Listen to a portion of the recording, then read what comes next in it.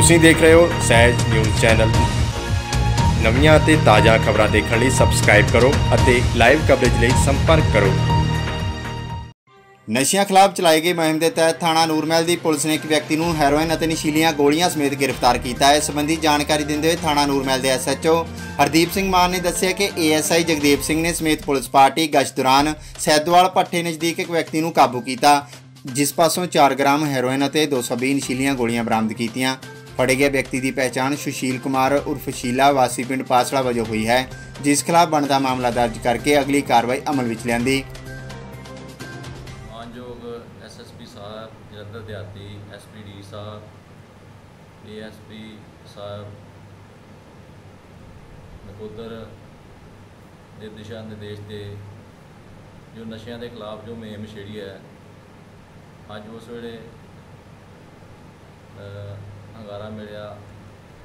ਜਦੋਂ police party ਇੱਕ ASI Jagdev Singh ਦੇ ਨਾਲ ਪੁਲਿਸ ਪਾਰਟੀ ਜਿਹੜੀ ਗਸ਼ਤ ਕਰ ਰਹੀ ਸੀ, ਸੈਦਵਾਲ ਭੱਠੇ ਨੇੜੇ ਜਦੋਂ ਪਹੁੰਚੀ ਤੇ ਇੱਕ ਮੋਨਾ ਨੌਜਵਾਨ ਜੋ ਮੋਟਰਸਾਈਕਲ ਤੇ ਆ ਰਿਹਾ ਸੀ ਤੇ ਪੁਲਿਸ ਪਾਰਟੀ ਨੂੰ ਦੇਖ ਕੇ ਯਕਦਮ ਘਬਰਾ ਕੇ ਪਿੱਛੇ ਮੁੜ ਲੱਗਾ ਤੇ ਜਦੋਂ ਪਿੱਛੇ ਮੁੜ ਲੱਗਾ ਤੇ ਪੁਲਿਸ ਪਾਰਟੀ ਨੇ ਉਹਨੂੰ ਕਾਬੂ ਕਰਨਾ ਚਾ- ਚਾਹਿਆ ਤੇ ਇਹ- ਇੱਕ ਆਪਣੇ ਜੇਬ ਵਿੱਚੋਂ ਮੋਮੀ ਲਿਫਾਫਾ ਉਸਨੇ ਸੁੱਟ ਦਿੱਤਾ ਤੇ ਉਸਨੂੰ ਕਾਬੂ ਕਰਕੇ ਉਸਦਾ ਨਾਮ ਪਤਾ ਪੁੱਛਿਆ ਤੇ ਉਸਨੇ ਨਾਮ ਆਪਣਾ ਸੁਸ਼ੀਲ ਕੁਮਾਰ ਸ਼ੀਲਾ ਵਾਸੀ ਪਾਸਲਾ ਦੱਸਿਆ ਤੇ ਜੋ ਉਹਦੀ ਕੋਲ ਉਹਨੇ ਦੱਸਿਆ ਵੀ ਇਹਦੇ ਵਿੱਚ ਲਿਫਾਫੇ ਦੇ ਵਿੱਚ ਹੀਰੋਇਨ ਤੇ ਨਸ਼ੀਲੀਆਂ ਗੋਲੀਆਂ ਹਨ।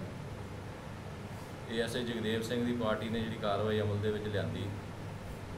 ਉਸ ਤੋਂ ਬਾਅਦ ਕਾਰਵਾਈ ਅਮਲ ਦੇ ਵਿੱਚ ਜਿਹੜਾ ਉਹ ਚੈੱਕ ਕੀਤਾ ਉਹ ਜਿਹੜੀ ਹੈ 4 ਗ੍ਰਾਮ ਹੀਰੋਇਨ ਤੇ 220 ਨਸ਼ੀਲੀਆਂ ਗੋਲੀਆਂ ਜਿਹੜੀਆਂ ਬਰਾਮਦ ਹੋਈਆਂ। ਤੇ ਜੋ ਵੀ ਹੈਗੀ ਆ ਉਹਨੂੰ ਗ੍ਰਿਫਤਾਰ ਕਰਕੇ ਐਫ ਆਈ ਆਰ ਦਰਜ ਕੀਤੀ ਗਈ।